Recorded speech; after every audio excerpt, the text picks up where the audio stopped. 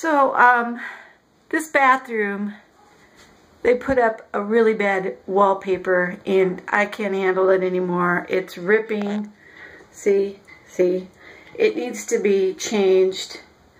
And, um, I mean, and kids have gotten a hold of it. And this is one of my projects for the holidays. And I'm going to totally re...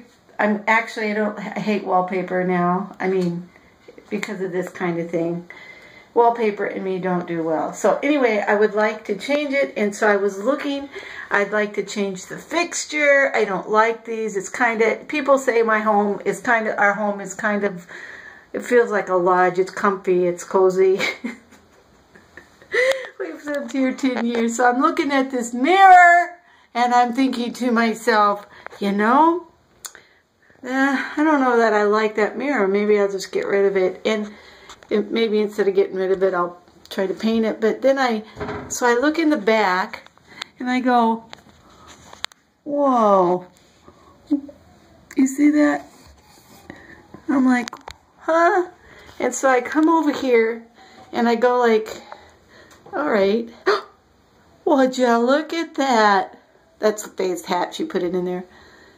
I had no idea for 10 years that this was like this, that we had a medicine cabinet in this bathroom. Yeah. Lee said we could use it as a safe. It's just 10 years, folks. Hello? All right.